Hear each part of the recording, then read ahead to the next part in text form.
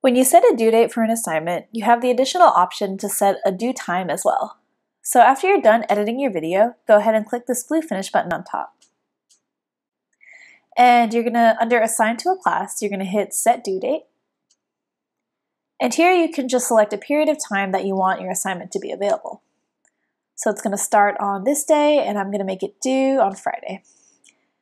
And once you've selected a due date, you can select a specific due time. So click on this option. And now I can choose what time I want this assignment to be due on this day.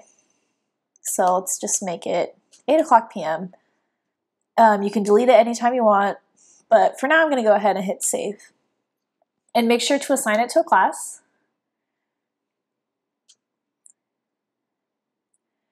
Um, okay, great. So now this assignment is going to be due on August 3rd at 8 p.m.